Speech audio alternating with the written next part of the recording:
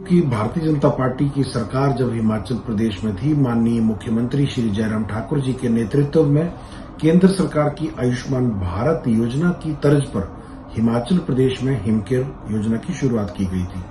इस योजना के तहत लाखों लोगों का निशुल्क इलाज हिमाचल प्रदेश के भीतर आज दिन तक हुआ, परंतु बहुत दुखी हृदय से मैं ये आपके समक्ष कुछ जानकारी साझा करना चाहता हूँ। हिमाचल प्रदेश में लगभग दो सौ हॉस्पिटल्स में हिमकेयर योजना का लाभ लोगों को दिया जा रहा था, जिसमें 141 जो वो निजी क्षेत्र के हॉस्पिटल कार्यरत थे।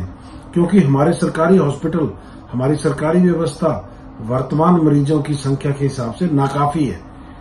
तो आप सरकारी हॉस्पिटल में जाइए, डॉक्टर को दिखाने के लिए लंबी लाइन, अल्ट्रासाउंड के लिए लंबी डेट, सीटी स्कैन के लिए लंबी डेट एमआरआई के लिए लंबी डेट ऑपरेशन के लिए लंबी डेट कैंसर के मरीजों को कीमोथेरेपी के लिए लंबी डेट और अन्य किस तरह के इलाज पाने के लिए भी जो हमारा सरकारी जो ढांचा है, वो वर्तमान स्थिति के हिसाब से कमज़ोर पड़ रहा था।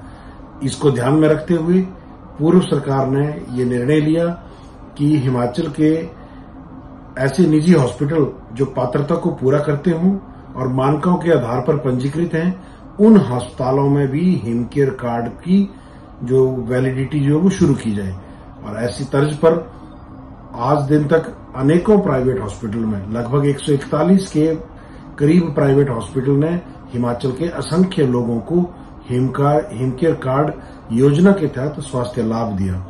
परंतु इस सरकार ने कुछ दिन पूर्व में जो, वर्तमान सरकार ने जो तुगलकी फरमान जारी कर कर निजी अस्पतालों में हिमकेयर कार्ड का लाभ देने का, बंद करने का जो फैसला किया है, ये सरकार की संवेदनहीनता को दर्शाता है।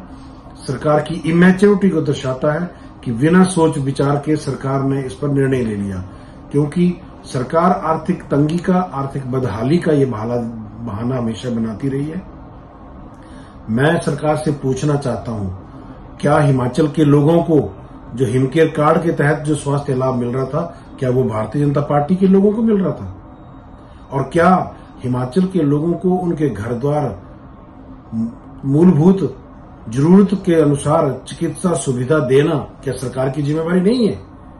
ये सरकार जब से बनी है, तब से ये स्कूल, कॉलेज, हॉस्पिटल और विकास कार्यों पर ताला लगाती आई है और अब इसने एक कदम आगे बढ़कर मरीजों को, गरीबों को मिल रही उस स्वास्थ्य सुविधा पर भी कैंची चलाई है जिसका आने वाले समय में हिमाचल की जनता और भारतीय जनता पार्टी पुरजोर विरोध कर रही है।